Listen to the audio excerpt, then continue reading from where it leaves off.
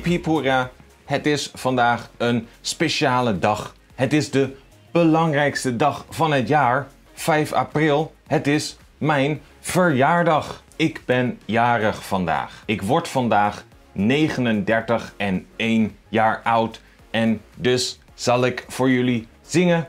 Eh, ja, ik ben vandaag jarig. Jarig is een adjectief. De verjaardag. Het is vandaag mijn verjaardag. De verjaardag is de noun, het zelfstandige naamwoord. Ik ben jarig op 5 april. Mijn verjaardag is op 5 april. Dan vier ik hoe leuk het is dat ik lang geleden ben geboren. Ik ben geboren op 5 april 1983.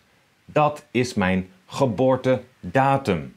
1983 is mijn geboortejaar. En toen ik geboren werd, zag Nederland er nog heel anders uit. Kijk maar.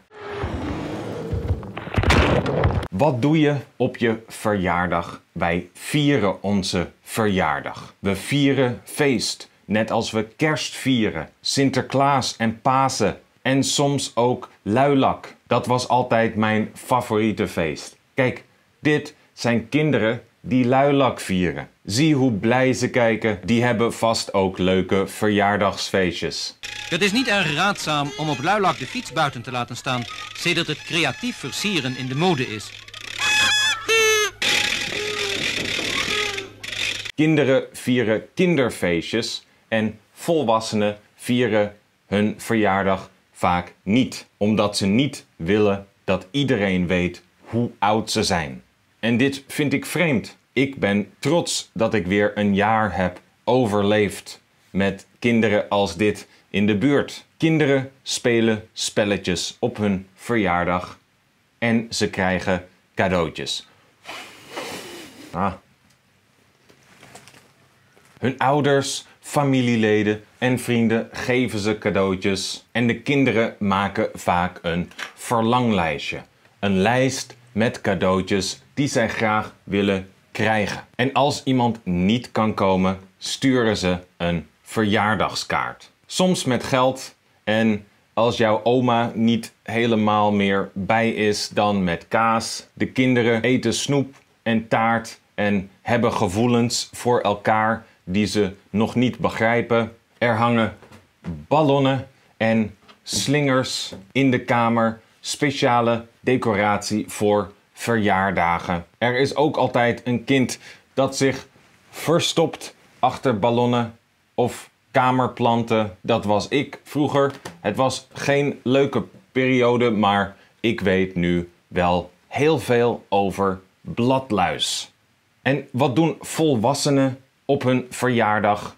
Eigenlijk een beetje hetzelfde. Ze zeggen gefeliciteerd met je verjaardag of van harte. En ze vragen hoe jong ben jij geworden? En dan kun je je leeftijd vertellen of je kunt zeggen dat gaat jou niets aan. Niemand vindt het leuk om oud te worden. Sommige mensen liegen over hun leeftijd. Maar dan zet iemand een pop van Abraham in de tuin en dan weet de hele buurt hoe oud jij bent geworden. Want in Nederland zijn speciale jaren gelinkt aan figuren uit de Bijbel. Voor 50 jaar is dat Abraham of Sarah. Voor 60 jaar is dat Isaac of Rebecca. Voor 70 Jacob of Rachel. Voor 80 Jozef of Asnat. Voor 90 Ephraim en voor 100 Methusalem. Vrouwen werden vroeger niet zo oud. Ik vraag me af waarom. Maar goed, hoe vieren volwassenen dus hun verjaardag? Je verjaardag duurt 24 uur en begint om 12 uur s'nachts, s'morgens.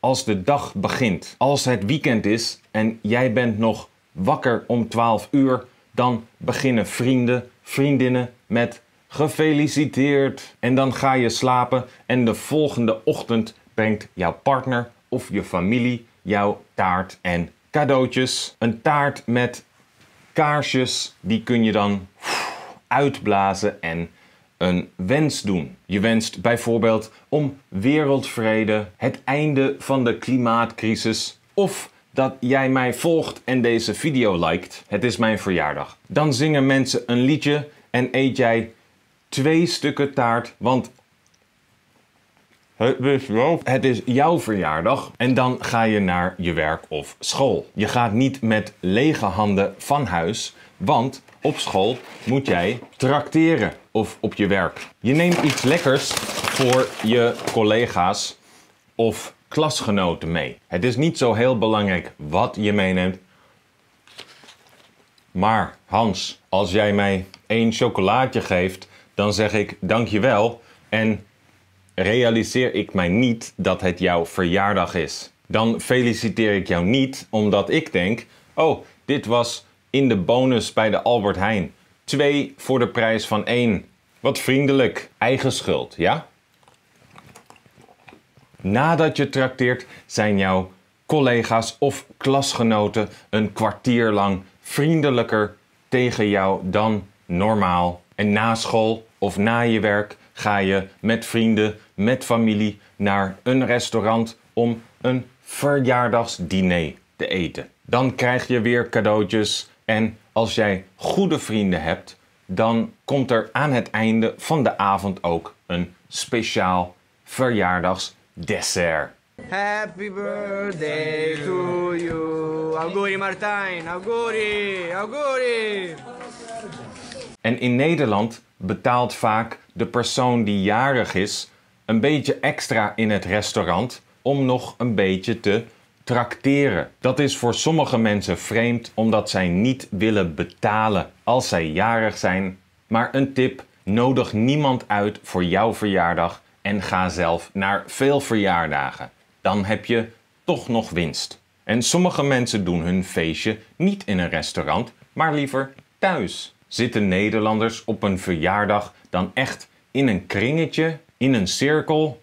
Vroeger wel en ik zie het nog steeds soms. En waarom doen Nederlanders dit? Dit is een oude traditie, omdat het in Nederland koud is en zo kon iedereen om het vuur zitten. En de andere reden is dat jij dan iedereen kan zien en iedereen gelijk is en je niet over elkaar kunt praten. Nederlanders zijn een beetje achterdochtig, vooral op verjaardagen. En net als met veel andere dingen die gelijk zijn, is het ook een beetje saai.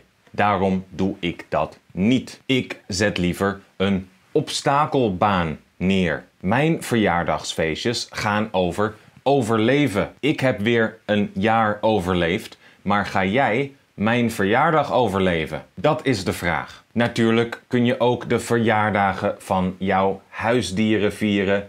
Die hebben daar niets aan, maar het is wel leuk voor Instagram. I add some balloons. What do you think, Sister Minnie? Do you like your party decorations?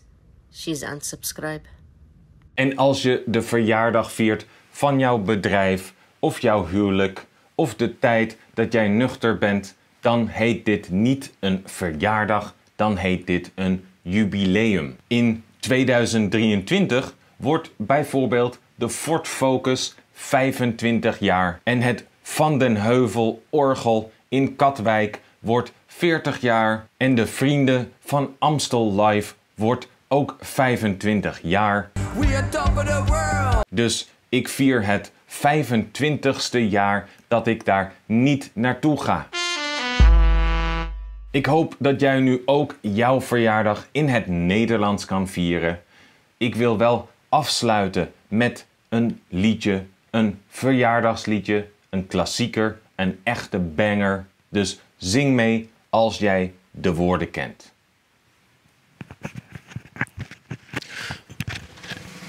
Er is er eenjarig, hoera, hoera, dat kun je wel zien, dat ben ik.